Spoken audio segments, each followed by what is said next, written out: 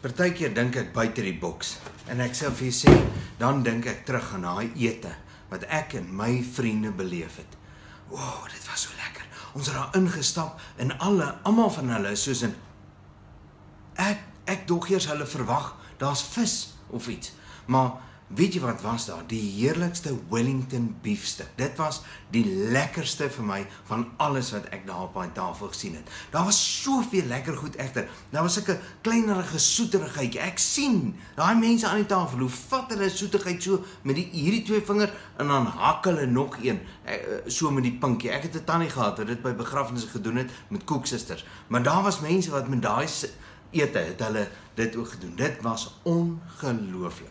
Was so so lekker. Die samesyn, die geselsery, daai by mekaar wees en net bietjie hoor hoe gaan dit met iemand anders? Werklik, nie net in die verbyloop hoe gaan dit nie, maar werklik uitvind hoe gaan dit met iemand anders? Uit daai samesyn kry ons weer krag en daai krag gee vir ons hoop. Ek hoop dat daar iewers in hierdie tyd 'n samesyn vir jou kan wees en dat dit jou hoop gee vir 'n beter en al hoe beter 2021.